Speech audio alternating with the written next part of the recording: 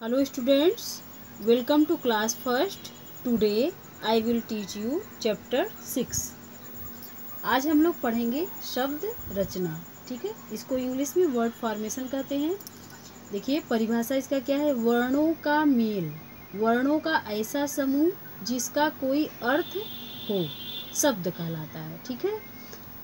अब इसमें देखिए, वर्णों के मेल से बने शब्द। आपने वर्ण पढ़ा ही है। ठीक है? अ से अह तक, क से ज्ञ तक। अब इसमें देखिए, ये बिना मात्रा वाले शब्द हैं, ठीक है? जैसे देखिए, बस, खत, सड़क, नल, कमल, जग, ठीक है? चलिए नेक्स्ट पेज पे चलते हैं। वर्णों व मात्राओं के मेल से बने शब्द, ठीक है?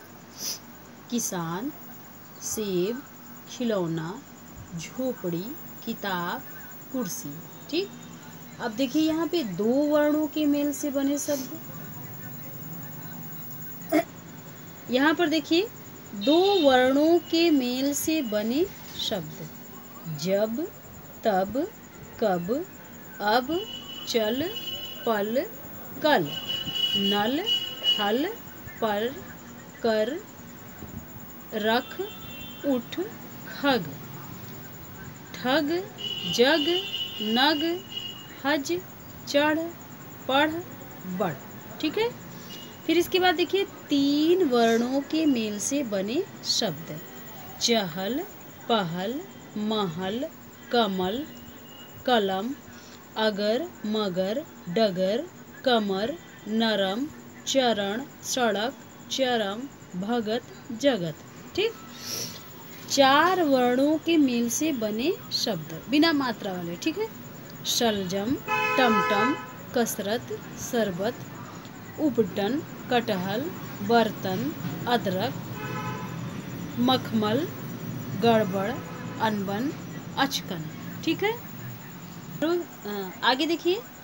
मात्रा वाले शब्द। आ की मात्रा वाले?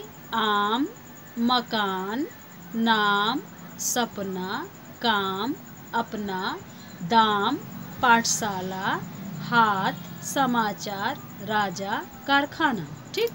अब छोटी ई की मात्रा वाले शब्द देखिए, इसको कॉपी पे भी आपको राइट करना है। देखिए, दिन, हिरन, गिन, इसी प्रकार से ये सब लिखा हुआ है, ठीक है? बड़ी ई की मात्रा वाले शब्द देखिए, माली, चाची, नाली, लड़की, डाली, दीवार गली, बिजली, नली, तितली, चली, असली, ठीक?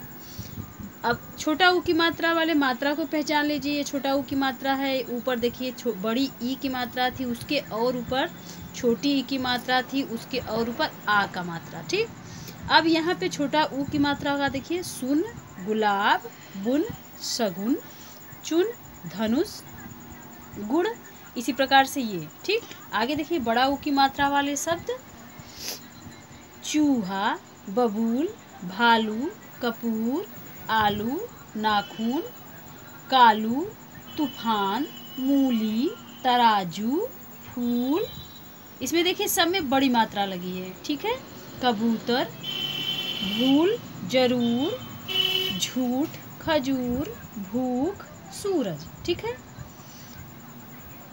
इसके बाद देखिए ये री की मात्रा है, ठीक है? री में मात्रा ऐसे लगती है, जैसे देखिए, गृह, कृषक, वृक्ष, कृपण, नृप, वृत्तांत। ठीक है स्टूडेंट्स आज के लिए इतना ही। बाकी नेक्स्ट डे आप लोग रीडिंग इसी प्रकार से लिखिए और इसको कॉपी पे भी राइट करिए। ये आपका पूरा होमवर्क है, ठीक? Thanks for watching